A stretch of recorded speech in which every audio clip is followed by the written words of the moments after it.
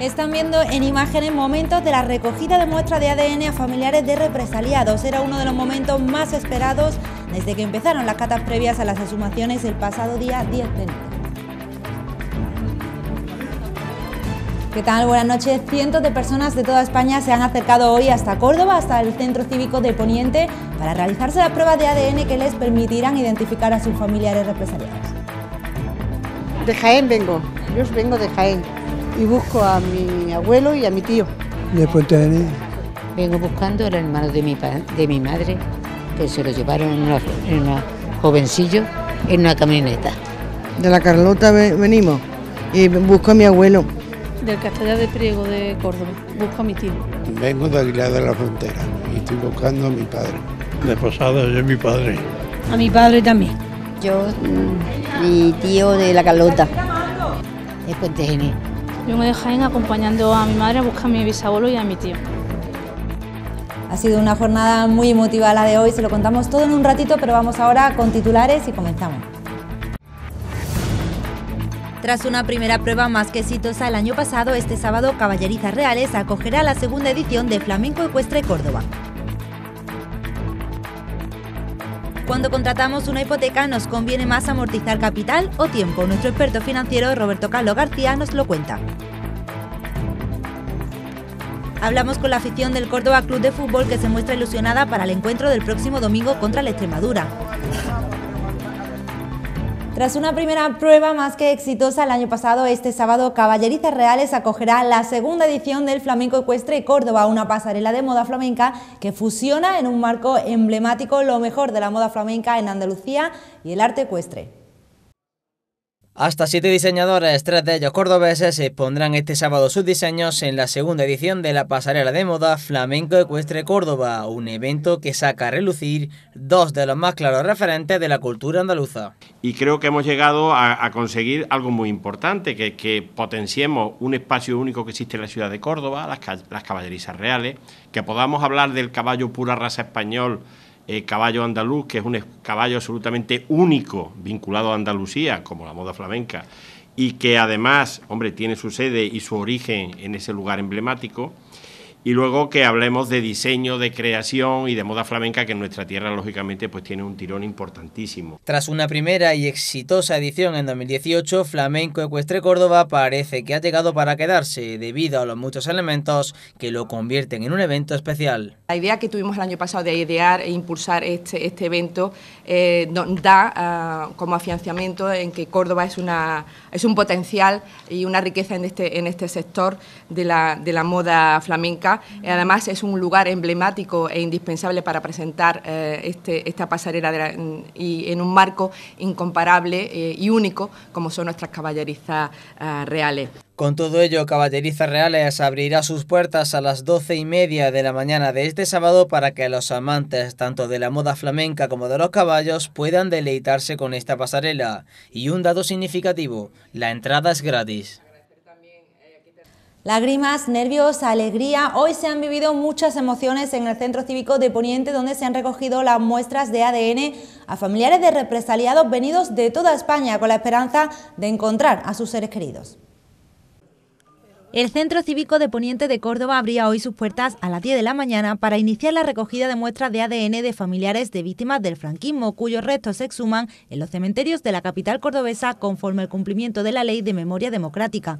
lo que estamos, estamos rellenando la documentación necesaria para entregar tanto al laboratorio como para que coste en, Dirección General de Memoria Democrática y bueno, pues nosotros vamos rellenando la documentación, pasa al familiar y con posterioridad pasan allí y le sacan las muestras de ADN. Cientos de personas se han acercado hoy a este lugar con el objetivo de encontrar a sus seres queridos. Nosotros eh, tenemos un listado previo de 140 personas, pero aparte eh, ya tenemos algunos nombres más de personas que no lo tenían solicitado y que han venido al llamamiento que se le ha hecho familiares venidos de toda España.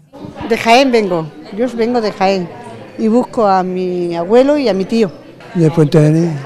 Vengo buscando al hermano de mi, de mi madre, que se lo llevaron en una, en jovencillo en una camioneta. De la Carlota venimos y busco a mi abuelo. Del Castellar de Priego de Córdoba, busco a mi tío. Vengo de Aguilar de la Frontera y estoy buscando a mi padre. De Posada, yo mi padre. A mi padre también. Yo, mm, mi tío de la Carlota. De Puente Gené. Yo me de Jaén acompañando a mi madre a buscar a mi bisabuelo y a mi tío. La recogida de muestras solo se ha programado para el día de hoy, pero esperan que más adelante haya más jornadas para esta labor, teniendo en cuenta que se acercan personas de diferentes puntos del país. ¿De quién son responsabilidad las naves ocupadas de forma ilegal? Recientemente hemos conocido el sufrimiento de la familia Muñoz que pedía responsabilidades al ayuntamiento. Este lamenta que no es competencia suya y el Partido Popular responde que el consistorio no puede mirar hacia otro lado. El obrador Hermanos Muñoz cerró hace unos años a causa de la crisis y a los pocos días sus propietarios sufrieron una de las ocupaciones más llamativas de Córdoba. Solo hay que pasar por la zona para comprobar el estado de la nave, un lugar lleno de ocupas y prácticamente destrozado. Ana Muñoz, copropietaria de la nave, nos contaba indignada que no podían hacer nada.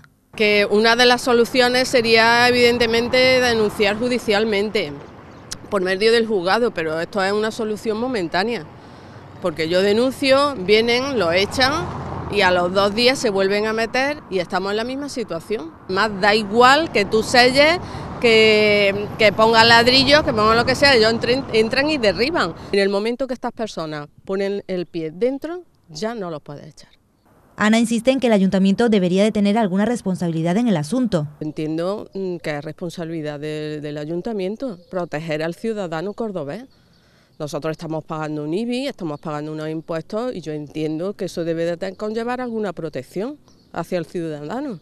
Mientras fuentes oficiales del Ayuntamiento de Córdoba nos aseguran que el consistorio no tiene las competencias para solucionar este asunto, el portavoz del PP y candidato a la alcaldía, José María Bellido, insiste en que el Ayuntamiento no puede mirar hacia otro lado. La varita mágica no la tenemos ninguno, pero sí tengo que decir dos cuestiones. Una, eh, antes de la disolución de las cámaras, presentamos en el Congreso de los Diputados una iniciativa precisamente para una ley antiocupas que retomaremos de inmediato después de las elecciones generales, espero que con Pablo Casado de presidente, eh, que lo que hace es atacar estas ocupaciones ilegales y sobre todo atacar eh, aquellas que no vienen de causas sociales, como es esta. Eh, aquí estamos hablando de personas que ocupan naves de forma ilegal, no de personas que hayan sido desahuciadas de su casa, que entonces tendrían que tener un trato diferente, sino personas que se meten en propiedades privadas de otras personas, las ocupan y les impiden desde entonces hacer uso de las mismas.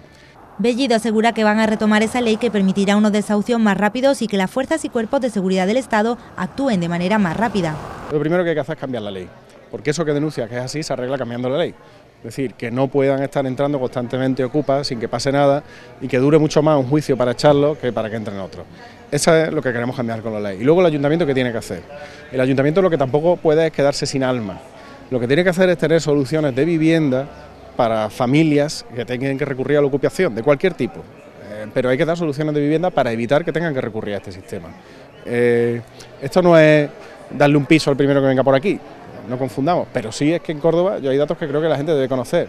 Llevan más de 30 años sin construirse vivienda social por la Junta de Andalucía. yo espero que el gobierno de Juanma Moreno lo haga. Y en estos cuatro años Vincosa tampoco ha hecho vivienda social. Eso también ayuda a que se tenga estos fenómenos de la ocupación, cuando la gente no tiene otros recursos, pues se dedica a ocupar. Sea por falta de viviendas sociales, por culpa de la ley o por falta de competencias, los ocupas siguen entrando cada día en más naves y viviendas ante la impotencia de sus propietarios que solo piden que alguien les ayude.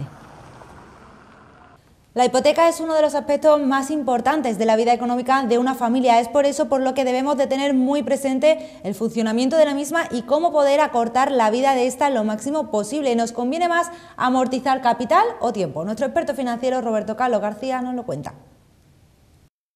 Cuando contratamos una hipoteca debemos de tener en cuenta varios aspectos importantes y es que siempre nos surge la duda de si es mejor reducir plazos o cuotas. Nuestro experto financiero Roberto Carlos García nos aclara esta cuestión. Una hipoteca funciona con el método de amortización francés, que es habitual en España y supone que el pago de la cuota de una hipoteca comprende una parte que va destinada al pago de intereses y otra a la devolución del principal.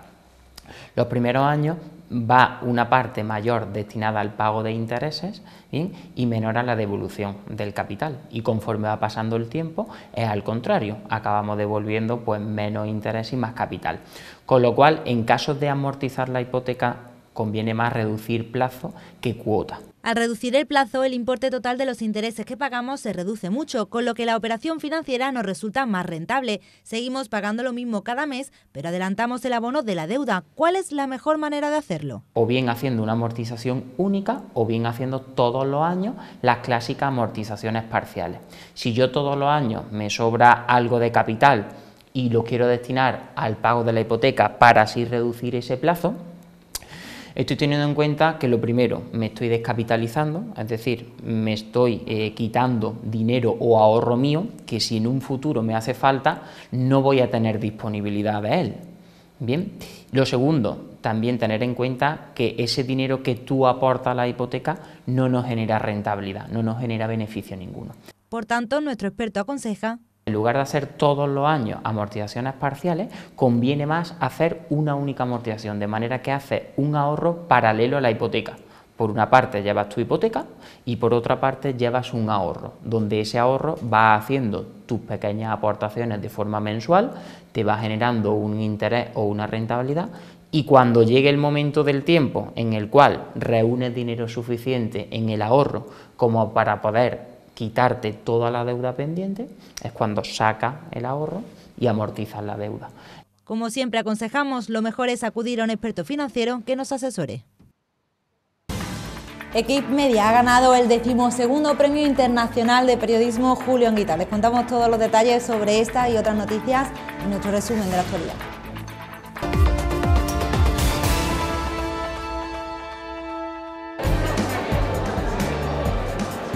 La Federación Nacional de Asociaciones de Trabajadores Autónomos, ATA, ha celebrado esta mañana su Asamblea General de 2019 en las instalaciones del Palacio de Congresos de Córdoba, un evento presidido por su junta directiva al que han acudido más de un centenar de trabajadores autónomos y numerosas autoridades.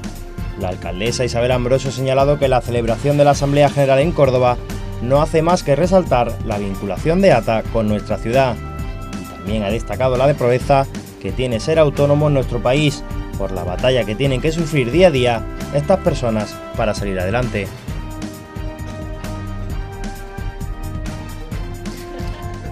El jurado del decimosegundo Premio Internacional de Periodismo Julio Anguita Parrado ha decidido por unanimidad conceder este galardón a Equip Media, una agencia de prensa creada en 2009 en el Sáhara Occidental que denuncia la violación de los derechos humanos de la población que vive en ese territorio.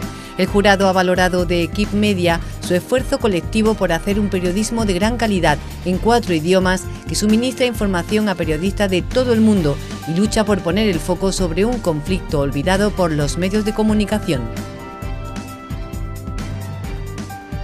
El Grupo de Investigación Antigua Ciudades de Andalucía de la Investigación Arqueológica a la Rentabilidad Social lleva años desarrollando iniciativas con el objetivo puesto en convertir Torre Paredones en un yacimiento para la formación de jóvenes investigadores. Así, las excavaciones al anfiteatro comenzarán de nuevo el próximo mes de abril y se prolongarán hasta el 10 de mayo. Será el alumnado de la Universidad de Córdoba el protagonista de estos trabajos. Una oportunidad para aumentar la formación científica tanto de estudiantes de grado como de máster y en la que podrá participar matriculados de otras universidades.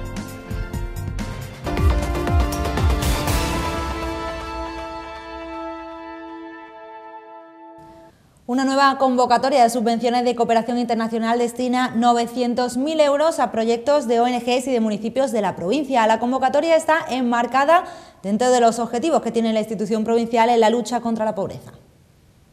La Diputación de Córdoba ha puesto en marcha una nueva convocatoria de subvenciones de cooperación internacional con un presupuesto total de 900.000 euros, 75.000 más que el año pasado, que se destinarán a proyectos de desarrollo, de acción humanitaria y derechos humanos y de cooperación internacional de ayuntamientos de la provincia y ONGs. Así lo explicó este miércoles en rueda de prensa la delegada de Cooperación al Desarrollo de la institución provincial, Ana Guijarro.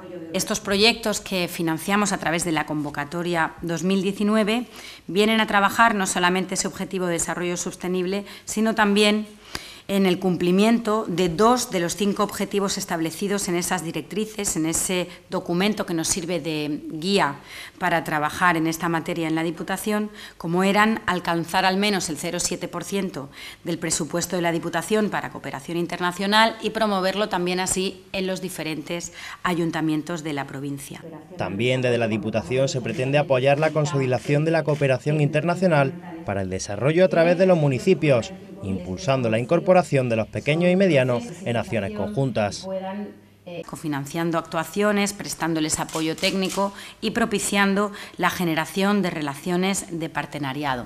Era importante y por eso, precisamente en una de las modalidades, en la primera, en la de proyectos eh, de cooperación al desarrollo, cuando hablamos de los ayuntamientos, fomentamos siempre que lo hagan conjuntamente, que procuren participar en proyectos no solamente de ayuntamientos aislados, sino que lo hagan de forma conjunta.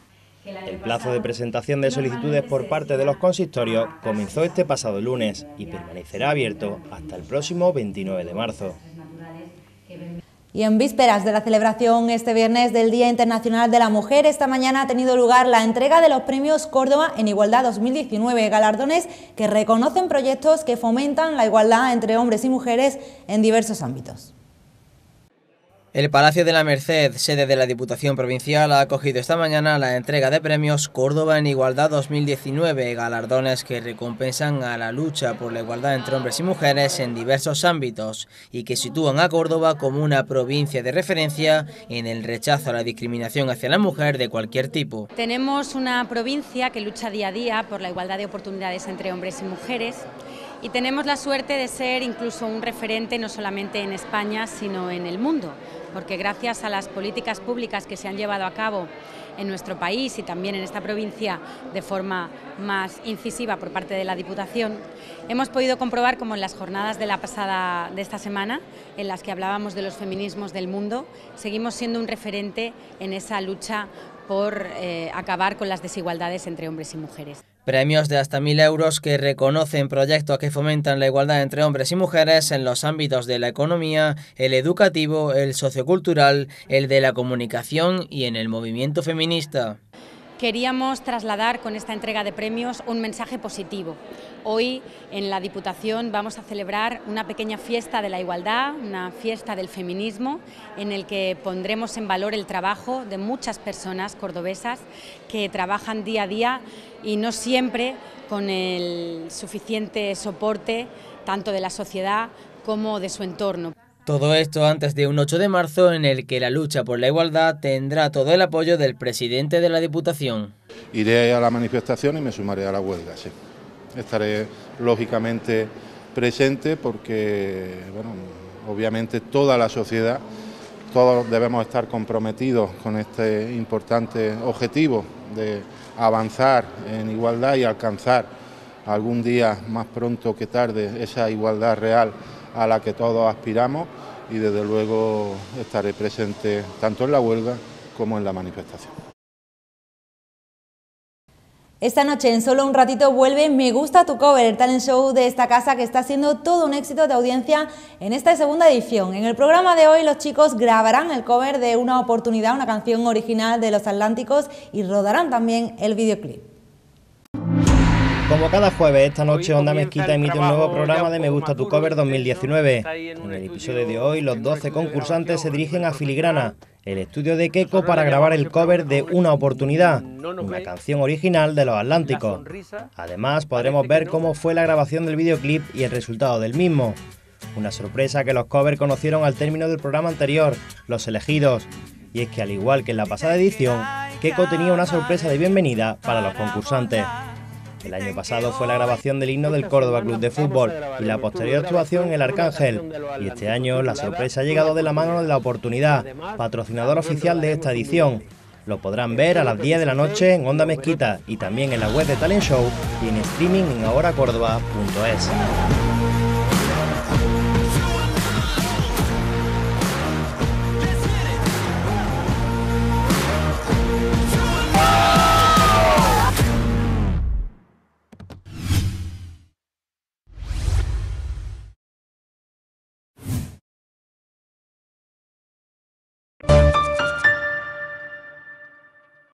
Los primeros aficionados afortunados de las entradas sorteadas por el Córdoba Club de Fútbol para el partido contra el Extremadura ya han pasado por taquilla. Hablamos con la afición que se muestra ilusionada para el encuentro del domingo.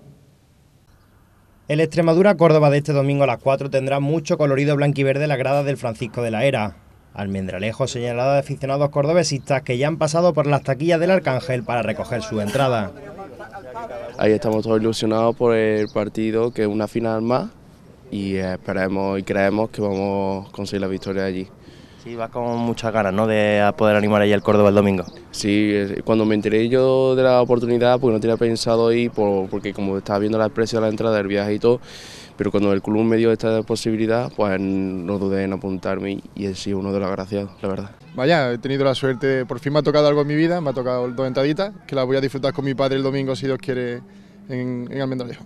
¿En autobús o por tu cuenta? No, nosotros vamos por nuestra cuenta, nosotros somos de del Duque, somos abonados al Córdoba y, siempre hacemos un montón de kilómetros para venir a ver el Córdoba, siempre venimos a Córdoba, pero esta vez vamos a hacer los kilómetros dirección Extremadura, vamos en nuestro coche. Pues sí, mira, que he tenido suerte, ¿verdad? Que he tenido suerte porque tenía ganas de ir a Mendralejo, en el año 78 estuve allí y ahora, mira, pues voy a volver ahí a ver, a ganar. ¿Con quién va y si va por su cuenta o van a autobús? No, voy a autobús y voy con mi nene el pequeño. Que diríamos ganas de ir, de verdad. Cordobesista 100% que van a animar ahí a su equipo, ¿verdad? Hombre, que no falte, ¿no? Hay que animar y eso no puede faltar. En total, el club ha sorteado 324 entradas entre sus abonados a coste cero. El viaje en autobús más la entrada al estadio rival le saldrá gratis a todos los cordobesistas desplazados. Con optimismo, los aficionados blanquiverdes aventuran una victoria del Córdoba frente a la Extremadura.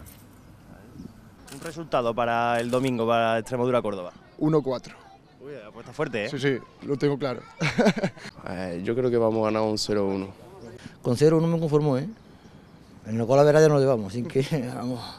Poco ha durado el mal tiempo y hemos vivido una jornada con nubes y claros y temperaturas que han rondado los 17 grados. Ampliamos a continuación la información meteorológica.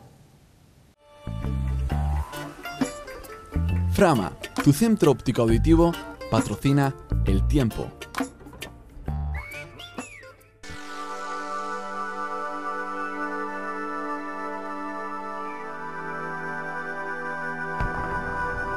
Para hoy jueves 7 de marzo, Córdoba tendrá una jornada con intervalos nubosos y lluvia. En cuanto a temperatura, se espera una máxima que llegará a los 17 grados y una mínima que ha sido de 4.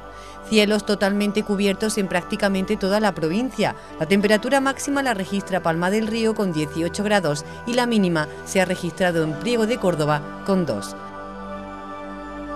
Para mañana en Córdoba cielos con nubes y claros, aunque disminuye el riesgo de lluvia.